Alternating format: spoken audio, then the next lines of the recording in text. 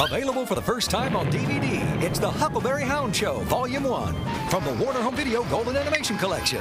Howdy. Hand delivered by everyone's favorite cartoon canine, Fireman Huckleberry speaking. Officer Huckleberry. Sir Huckleberry Hound is here.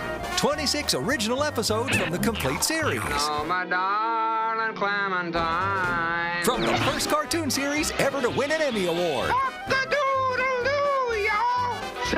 Cock-a-doodle-doo, y'all. Say, you're very talented. 10 hours of classic cartoons on four discs. Totally remastered and restored.